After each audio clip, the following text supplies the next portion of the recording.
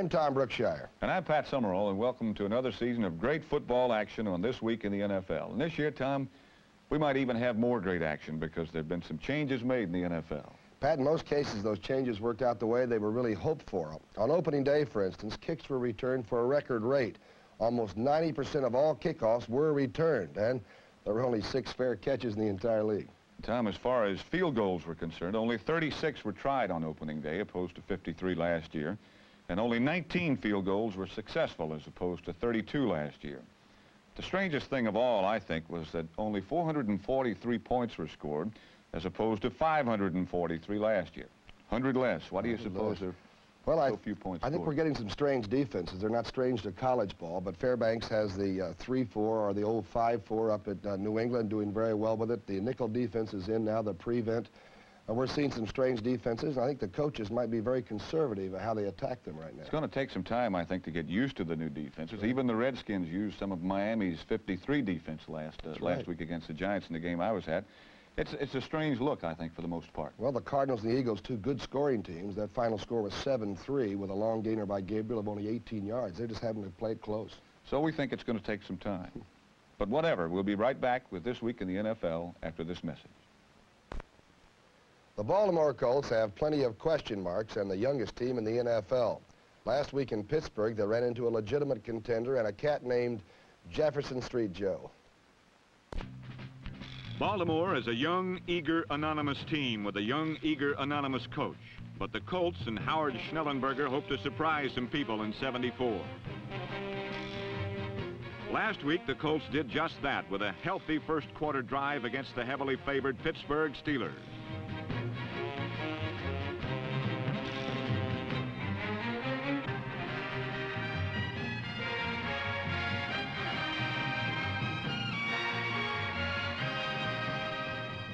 Doughty's catch moved the ball close, but with fourth down and one foot to go for a TD, the Callow Colts met their match at the steel curtain.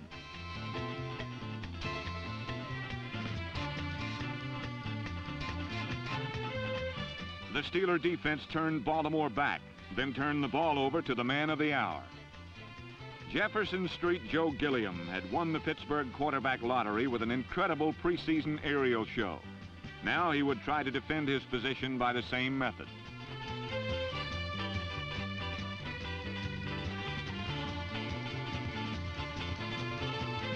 Under Gilliam, the freewheeling Steeler offense looks like a throwback to the early pass-happy 60s, with super cool number 17 filling the air with hard, tight spiral.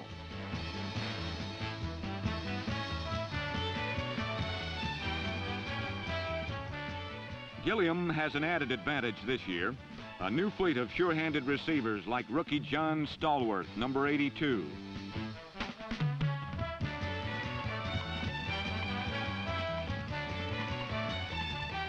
Another rookie target for Gilliam slingshots is number 88, Lynn Swann.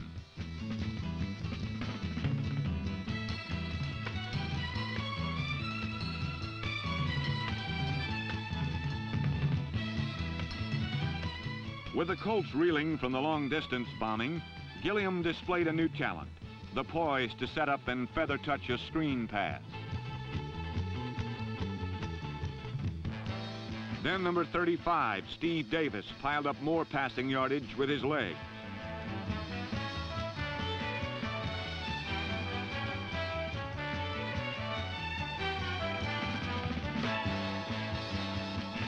Gilliam had passed his first test. In all, the hotshot from Tennessee State completed 17 of 31 for 257 yards and two touchdowns. The first on a fly pattern to Lynn Swann. The second on a sprint out to number 43, Frank Lewis.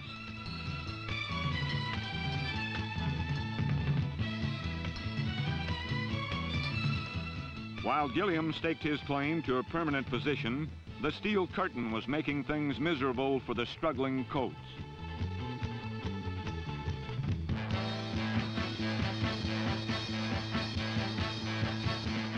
Number 47, Mel Blount, snuffed out Baltimore's last hope to avoid a shutout and gave the Steeler offense a chance to prove it had more than Joe Gilliam's right arm to depend on.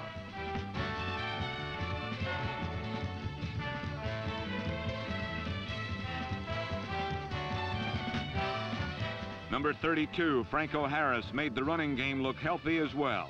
And the Pittsburgh Steelers rolled to an impressive 30 to nothing victory. Well, Pat, it didn't take long for the AFC Central Division race to really heat up. Very first week, Tom, and already a crucial game. Cincinnati's Riverfront Stadium was a sunny setting for a game they call the Championship of Ohio.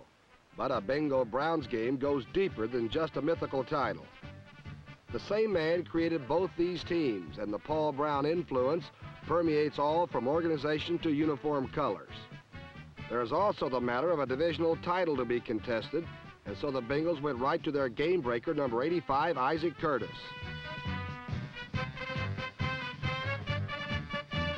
The spectacular effort was wasted, however, on a Bengal fumble, and the rest of the first half turned into a head-hunting defensive standoff.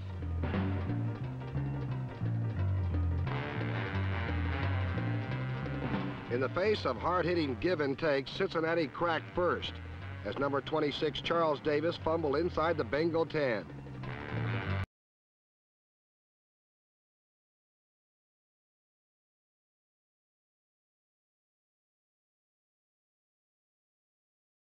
ball and with less than a minute remaining in the first half, number 15 Mike Phipps stood up to the safety blitz and hit Milt Morin for the game's first score.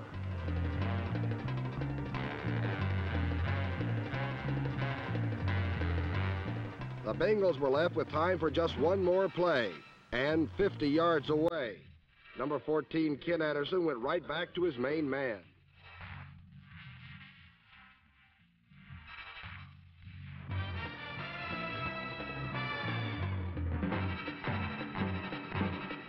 Isaac Curtis was ruled out on the one and not a second too soon. With one tick remaining, the Bengals faced an all-or-nothing proposition. Number 42, Boobie Clark, muscled in, and the game, which had been scoreless 38 seconds before, was now tied 7-7. But only Cincinnati's first half flurry carried over. The Bengal defense set the pace as number 70, Ken Carpenter, dropped Phipps in the Cleveland end zone for a safety.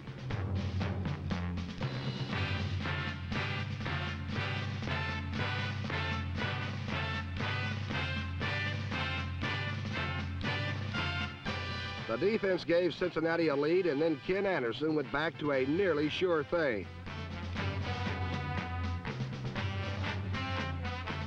Once again, Isaac Curtis beat the Browns, this time for six. Next, tight end Bob Trumpy, number 84, worked free over the middle for another score.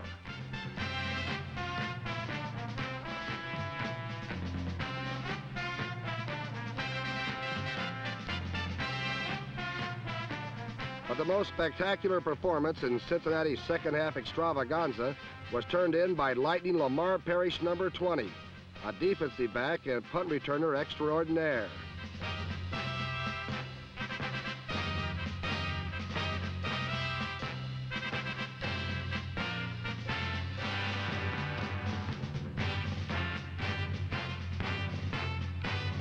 With a 33-7 blowout of the Browns, Cincinnati served notice to the rest of the league. The championship of Ohio just may be the first step to the championship of the world. In the past two seasons, the Houston Oilers have registered only two victories against 26 losses. However, this season, a number of new faces fill the Oilers' starting roster.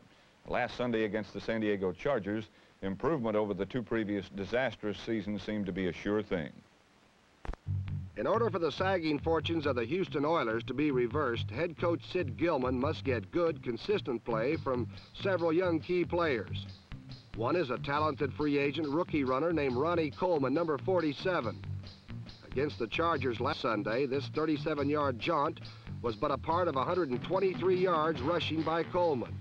And it put the Oilers in close enough for a short scoring blast by second-year fullback George Amundson, number 12.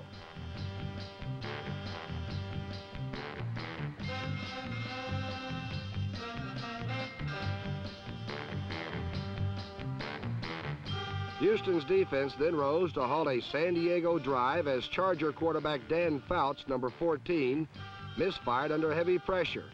And linebacker Steve Kiner, number 57, intercepted.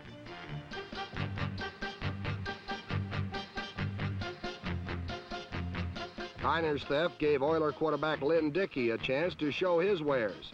And the former Kansas State star responded with 19 completions for 195 yards on the afternoon.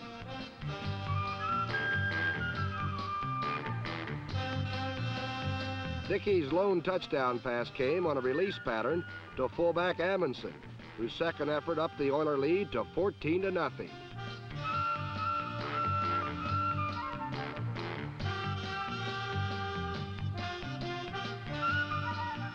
The second quarter, the Chargers retaliated with a hard run Cid Edwards, number 37. Edwards would rush for 100 yards on the afternoon, while Dan Fouts riddled the Oilers secondary with 13 completions for yardage totaling 209 yards.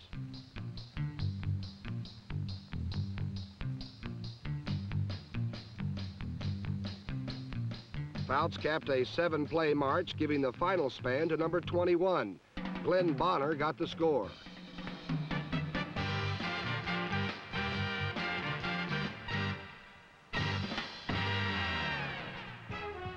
On the Chargers' first possession of the third quarter, Fouts directed his club in for the tie as a 29-yard touchdown pass to Gary Garrison completed a five-play, 65-yard drive. Garrison's defender had slipped, leaving the Ghost untouched for the score. However, when Fouts found tight end Wayne Stewart, number 89, open over the middle, Houston converged with a vengeance. Greg Bingham knocked the ball loose, and number 48 Bob Atkins recovered, giving the Oilers excellent field position. As the fourth quarter began, Dickey fired deep across the middle for rookie number 84 Bill Johnson. Johnson's 35-yard reception put the Oilers in close, and two plays later, George Amundson hurled in for touchdown number three and a 21-14 Houston victory. In days past, it was customary for Houston fans to get their biggest thrills watching opponents roll up enormous scores while catching a souvenir football from the toe of the opposition's kicker. That was regarded the big thrill. Perhaps, however, 1974 will be different for Houston, and with one victory already, odds are in their favor that sometime during the next 13 weeks, the scoreboard will again register Oiler victory number two. The Philadelphia Eagles finished last season ranked the number one passing team in the NFL. And in last Sunday's opener against the St. Louis Cardinals, they faced a team that came out of 1973 ranked dead last on defense. Well, Pat, I guess that proves you can't believe all or everything you read or hear, huh? It was supposed to be a cakewalk for the Fire High gang, but the red-clad Cardinals evidently didn't read the write-ups as thoroughly as the visitors. By game's end, last year's number one passing team wound up with three faltering points on the board. It was not a showcase day for either club, but Cardinal quarterback Jim Hart did manage to put together one game-deciding drive, and he started it with a beauty to number 85, Mel Gray. Giving the drive momentum was a familiar name in an unfamiliar uniform, number 20, Ken Willard, formerly of the 49ers. Hart gave his 80-yard creation a final stroke of mastery with a flip to a nine-year veteran, Donny Anderson, number 44.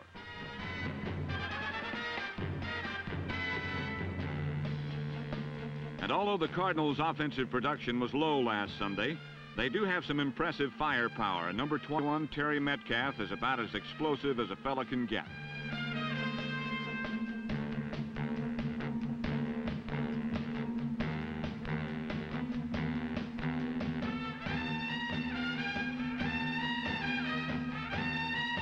In the fourth quarter, the Cards put together a drive that brought both good news and bad news. The good news was a pass completion to wide receiver number 82, Earl Thomas, who took it all the way to the Eagles' seven-yard line.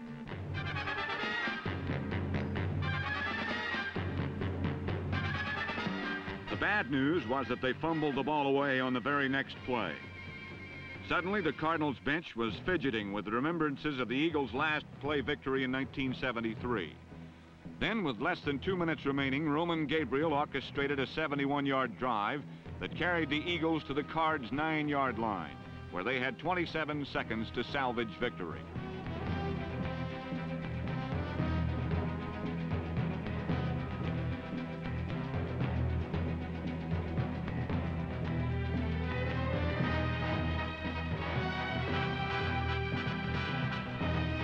But this year's victory went to last year's losers as four times Roman Gabriel dropped back to challenge the bad rep Big Red secondary. But four times the Cardinals rose above the Eagle effort. In the end, St. Louis had earned themselves a get-even victory that spoke far above the pundits' forecasts of what should have been. When the Redskins and Giants met last Sunday, the Washingtonians made one thing perfectly clear, and that was while their defense may be called the over-the-hill gang, they've still got a heck of a long climb down to the floor of the valley. For Washington's head coach George Allen, football games are matters equally significant to such things as life and death. And his eight-year string of opening day victories says a great deal about the preparation this man brings to a game. Last Sunday, that record was on the line again, and the man threatening it was Bill Arnsparger, the rookie head coach of the New York Giants. Arnsparger shares much of Allen's own philosophy about the game, and consequently, when his team took the field, they had a distinctive new sound, and it's called hard-hitting defense.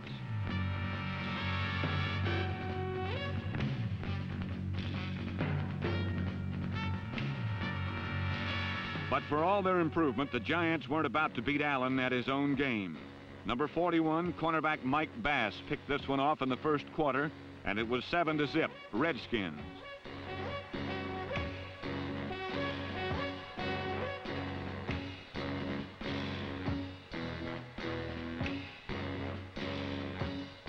When New York quarterback number 16, Norm Snead, did complete his passes, the Redskins forced turnovers while showing a real lust for loose footballs.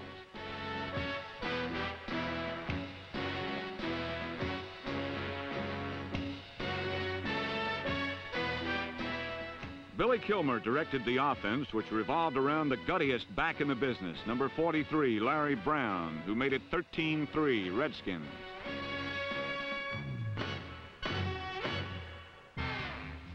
On the following kickoff, Giant fans got a good look at Wonder Boy Doug Kotar, number 44. He started the season as a rookie free agent, but fought his way up to first-string running back on opening day.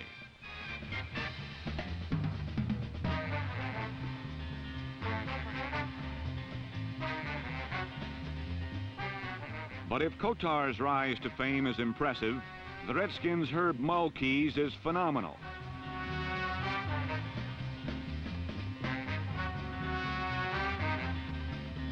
Number 28 also began as a free agent, but last season was the second-ranked return man in the NFL. And despite the fact that kicker Pete Gogolak tackled him, it's not hard to see why.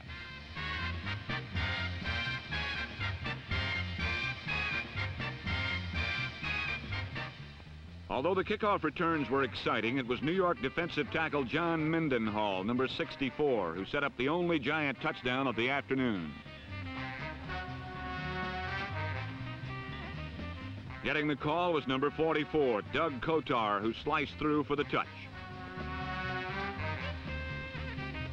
But New York's celebrations were slightly premature as the Redskins' defense withstood Mr. Kotar and company to capture George Allen's ninth studiously prepared for opener 13-10.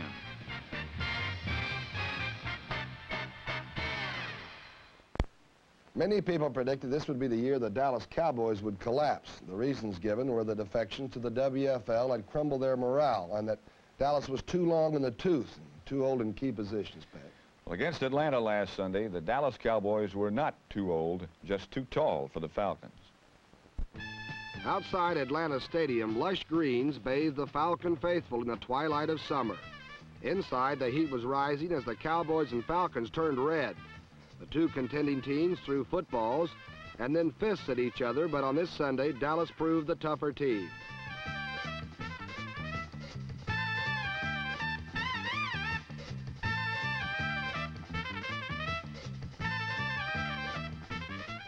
Setback Calvin Hill, a defector to the World Football League, answered the question about whether he would save himself for the WFL as he showed his heels and then his hands to the Falcons.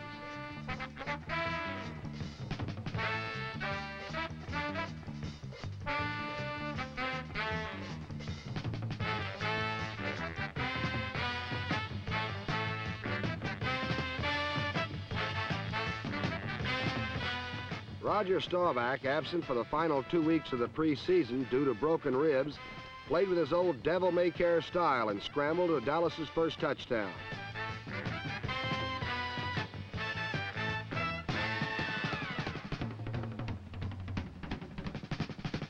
Although sacked seven times by the Falcons' ferocious rush, Roger hung in there and passed Dallas to a 17-0 bulge with a 32-yard rainbow to Golden Richards.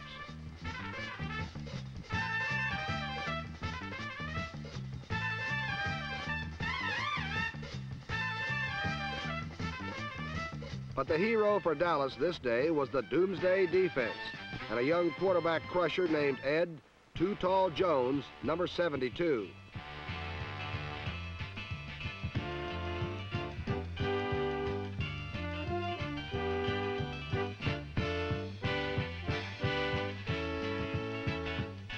Jones, the number one pick in the NFL draft, stands 6 feet 9 inches tall, weighs 265 pounds, and his style reminds one of Deacon Jones in his halcyon years.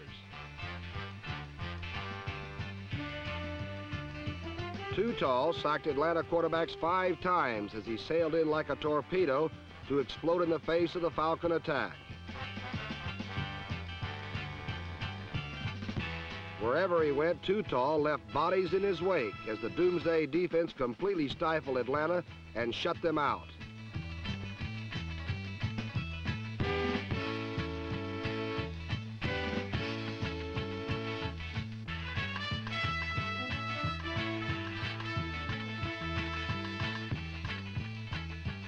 By game's end, Dallas dominance was complete as Bob Newhouse squirmed over for the Cowboys' final score. The 24-0 pasting proved the Dallas Cowboys were a very healthy corpse in the race for the NFC East. Well, after one week of play, two teams are tied for the lead in the NFC Central. One of them always seems to be up there, but I don't believe the other team's been in first place since maybe we quit playing. That would have to be Abe Gibron's Chicago Bears, and they do have a different look about them this year. On the shores of Lake Michigan, there's a very old NFL team with a very new look, principally because Abe Gibron's quarterback is now number 19, second-year man Gary Huff. Last year against Detroit, Huff was intercepted three times in one game by free safety Dick Jauron.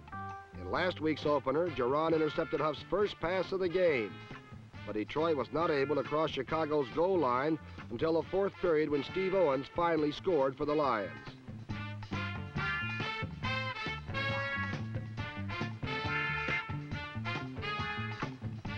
Detroit's only other points came when Jim Mitchell blocked a Bob Parsons punt out of the end zone for a safety.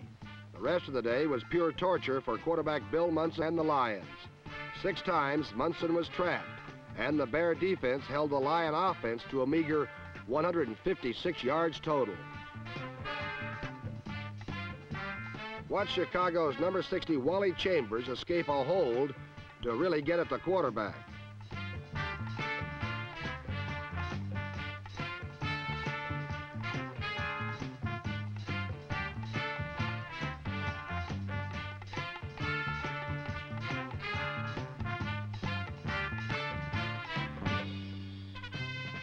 Bears also had some fun on offense with the newfound passing combination of Gary Huff to a rookie from Tennessee State, Charlie Wade, number 83.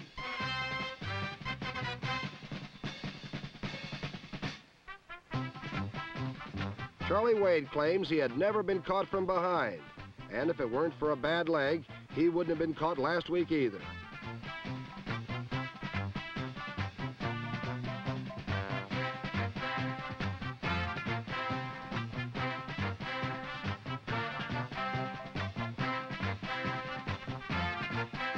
With such speed working for him, Gary Huff was able to fake out everyone in Soldier Field and then find another small but material flanker, Ike Hill, number 17.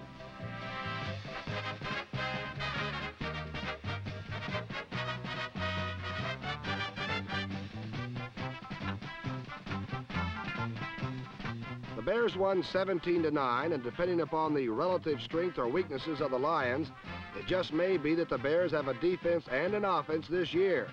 And if that is truly the case, NFL football is again going to become fun time in Chicago. For the players, for the fans, for Coach Abe Gibron, and even the Chicago Bear himself could be excused for losing his head.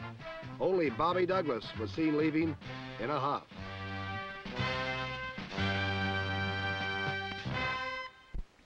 Though the Bears were able to upset the Lions, the Minnesota Vikings still must be regarded as the team to beat in the black and blue division, the NFC Central, Tom. Well, that's a safe statement, Pat, especially after the very impressive opening day showing by the Vikings against their old rivals, the Green Bay Packers.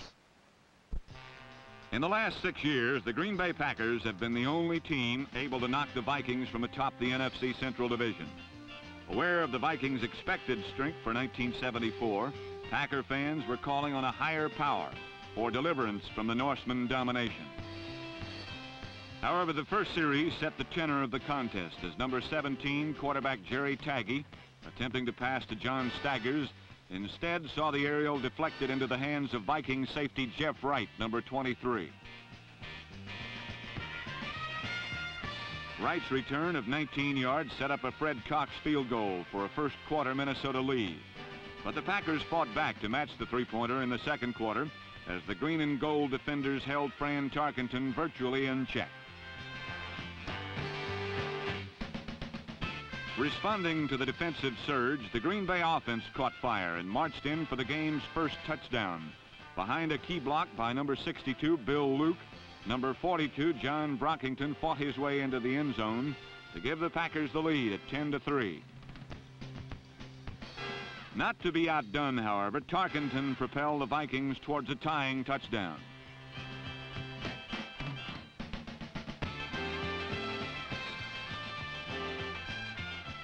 Number 44, Chuck Foreman, flashed through an enormous gap in the Packer wall for a 10-all halftime score.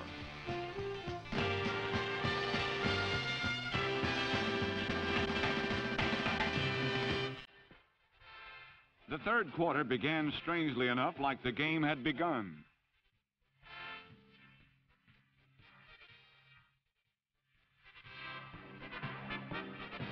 Number 43, Nate Wright, silenced the Packers' first possession of the second half with a well-timed interception. Four plays later, a Chuck Foreman leap put Minnesota ahead to stay.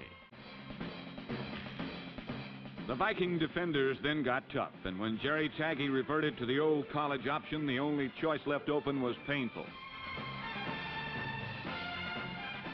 Controlling the tempo in the second half, the Vikings moved in close behind the thrust of Foreman and number 32, Oscar Reed.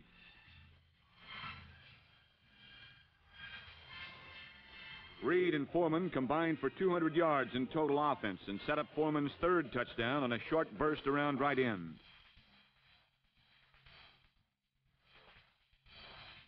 After a field goal up the Viking lead to 26 to 10, the pack finally arose to fight back.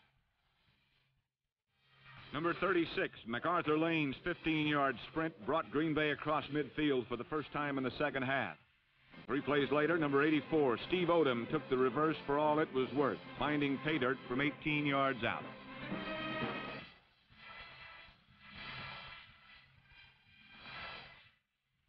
Now trailing 26 to 17, the Packers needed a good punt return to gain favorable field position as less than a minute remained.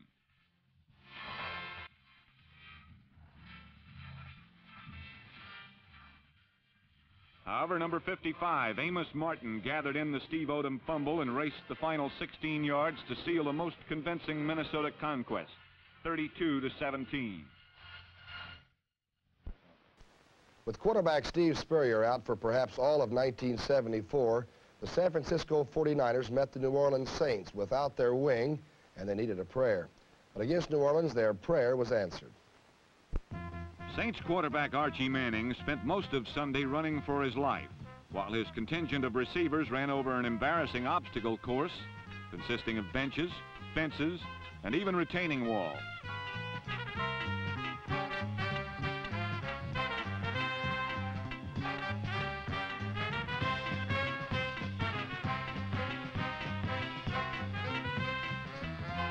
Behind a patchwork offensive line, St. Archie offered his body as a feast for the rumbling waves of red that washed over him. So it was no surprise that San Francisco drew first blood when rookie Manfred Moore followed number 48, Sammy Johnson, in for six.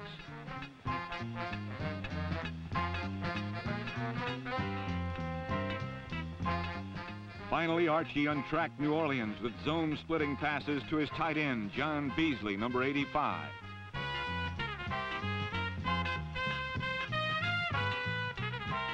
New Orleans built a 13-10 lead on two field goals and Manning's touchdown strike to 6'5" rookie Joel Parker from the University of Florida. New Orleans clung to the 13-10 lead with 154 remaining.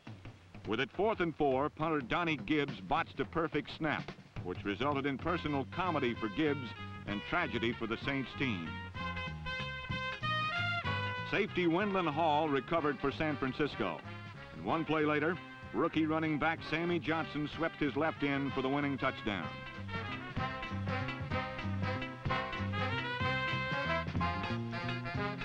Within a space of 30 seconds, New Orleans saw certain victory vanish into defeat. San Francisco had won a lucky one, but it's doubtful they'll be able to luck it out forever in the competitive NFC West.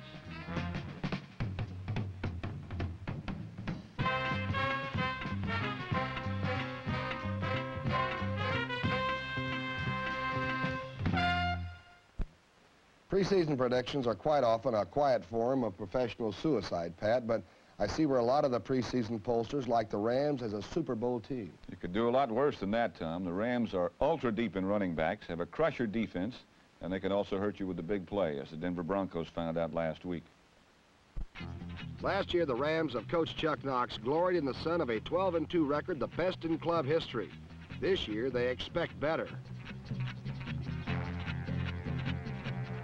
For Denver and their coach, John Ralston, last year was also a high-water mark, a season of smiles. But last Sunday, the Broncos needed all the firepower they could possibly muster. And so they started with a bang that knocked plucky Jim Bertelsen for a looping somersault.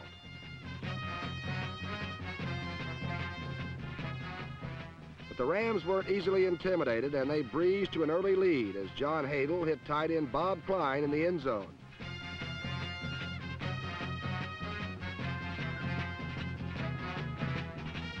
A repeat shows just how wide open the six-year veteran from Southern Cal was on the last play.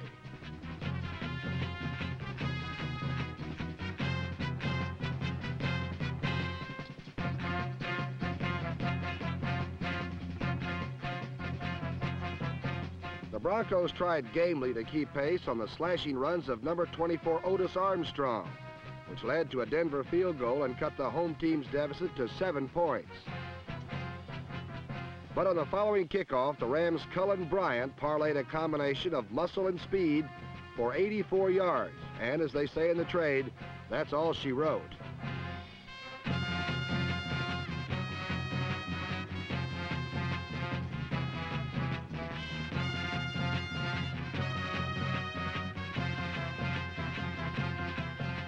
Bryant, who's listed as a third-string running back, points up the Ram talent and depth that's going to have a lot of coaches going to their hankies this year.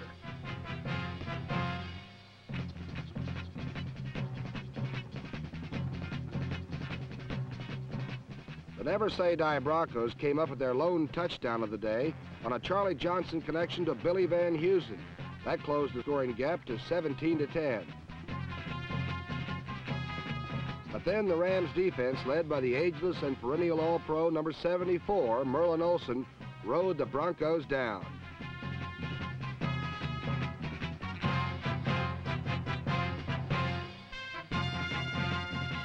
The constant Ram pressure forced Denver into mistakes of execution and withered their confidence as the Rams took the victory 17 to 10. For the Broncos, the loss was disheartening, for they as a team feel they have arrived.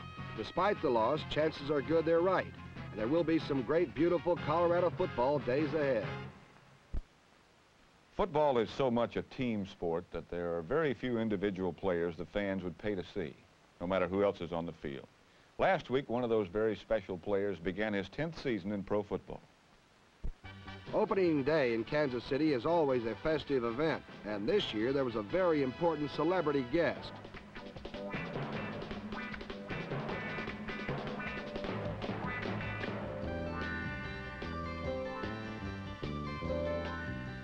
The season's very first quarter, Joe Namath had the Jets off and winging as he completed five of seven passes, including a perfect touchdown dart to tight end Rich Caster.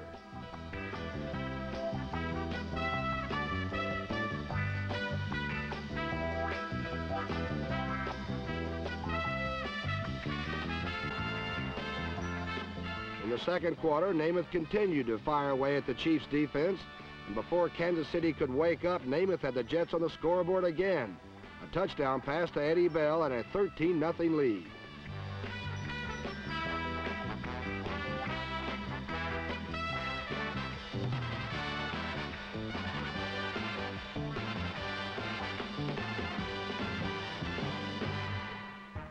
Late in the first half, Len Dawson finally got the Chiefs going with some darts of his own. Key play was a deep pass to wide receiver Larry Brunson, a flashy rookie from Colorado.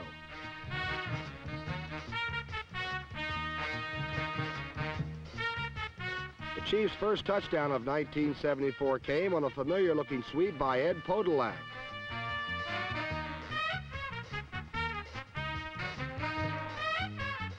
Leading 16 to 7 with only 20 seconds left in the half, Joe Namath tried for field goal position.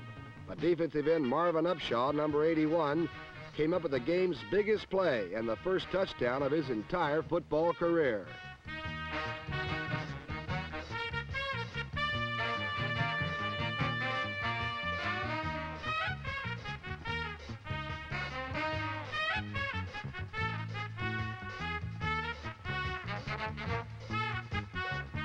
For the Chiefs and their faithful, a dreary-looking day now showed great promise.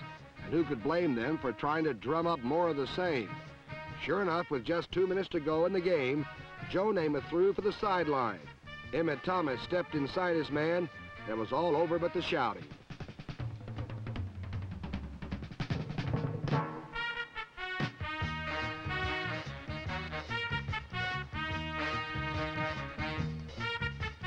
Kansas City won 24 to 16 by intercepting Joe Namath four times and returning two for touchdowns. For the first time in five years, the Chiefs had won their opener, and for one week at least, they were all alone in first place of the AFC West.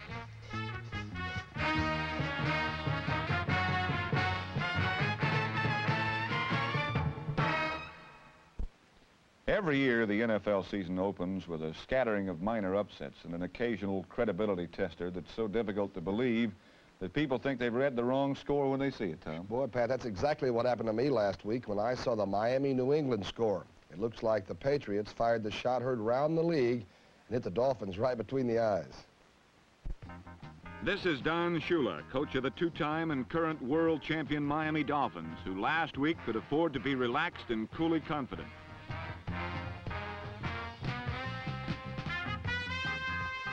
Their opponents were Chuck Fairbanks Patriots, who in the last few years have been considered a breather on most people's schedules.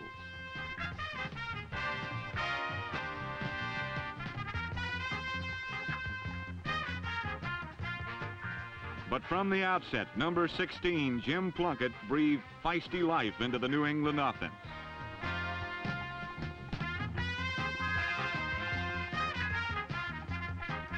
When Plunkett wasn't striking through the air, five foot five inch Mack Herron blasted up the Miami middle like a short ton of dynamite to give his team a 7 0 advantage.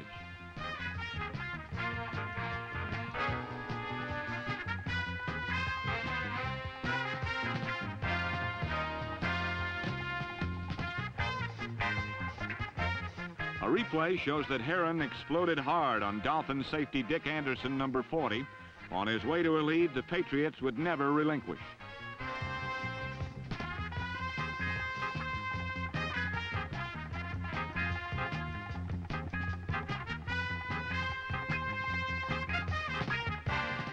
When Miami tied at 7 all, Mighty Mike Mack kept his magic motor in high gear and put the Pats in excellent position.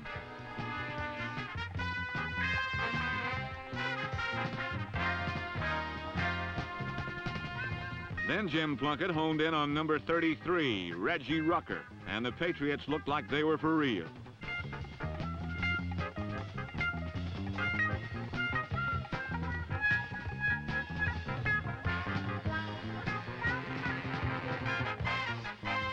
Not only was the offense sparkling, but the defense kept Bob Griese under great pressure all day.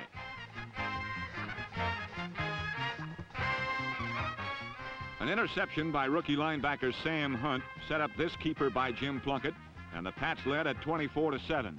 The question was, where was No Name? The answer was that No Name was nowhere. And when they tried to tighten up, number 39, Sam the Bam Cunningham, busted loose on a pop that put New England in good shape for the morning headlines, 31 to 10.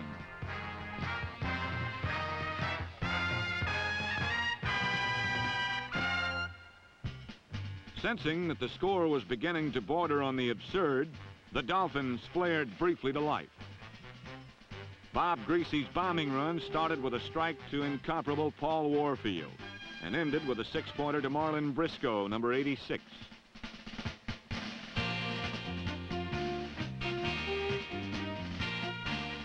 Then, for a moment, the Dolphins looked like they were going to pull it out when Larry Csonka's touchdown narrowed the New England lead to 31-24. But the Patriots had hooked a big fish, and they weren't about to let it slip away as they added a field goal and then pressured Griese repeatedly until he looked like a man stuck in a revolving door. When it was all over, the Patriots had outfought, outgained, out-hustled, and outscored the world champions 34 to 24.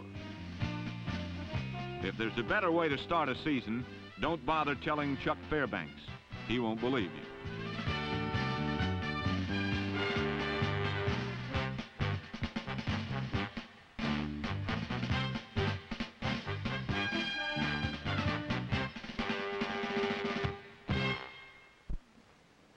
Let's climb out on the limb. We start out even. This is the only time I'll be even with you all year. Let's make some predictions. All right, there's some tough games to pick. How about Miami at Buffalo? Well, Buffalo played extremely well, but I can't believe the Dolphins won't really, really come back. I have to go with Miami.